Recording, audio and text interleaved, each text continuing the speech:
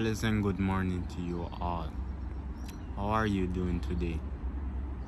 Excellent. I need you all to do four things for me. Leave your choice, share, and be a dominant subscriber to productivity so you can get the latest update on this implementation.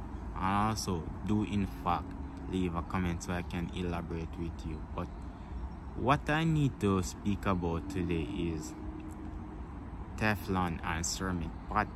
Because what is Teflon I should say? Teflon are the low density pot that we basically use on a regular day and also ceramic also but that is a higher density of um, the compound of sand and stuff like that I should say but the Teflon released an um, acid at a low um, low temperature.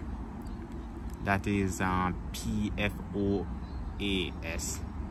that's the acid low density. And the ceramic um, release chemical also when it's at a higher density. It is challenging but what to do?